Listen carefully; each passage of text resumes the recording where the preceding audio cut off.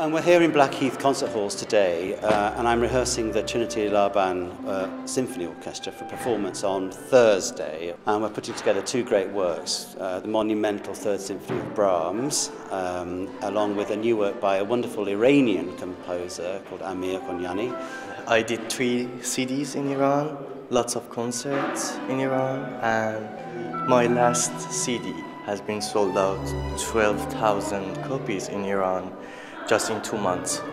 So I'm, I'm really blessed, I think. Yeah, yeah. Um, Amir's piece is um, it's beautifully crafted. It's a, a piece of um, the attention to detail with all the markings within the score. It is incredible. These pieces are extreme.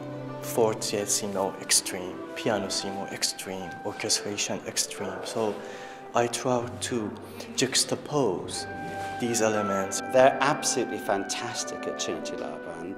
They were here five minutes before the start of the rehearsal. Don't anyone tell me that, you know, students aren't, uh, you know, absolutely disciplined and don't know what they're doing. These students were. They were massively ready and able. They had all prepared their parts. It was a complete joy this morning to work. Everyone's really joined in with the spirit of trying to make sure this performance is really terrific on Thursday. So I think Amir is a great talent. Do watch out for him. He, he was nice and amazing because the first impression that I had uh, as a phone call, he mentioned, come to my house. I really shocked and I really I was very excited because I knew who he is and after a while when, when I came to his house I found out how down to earth he is as well.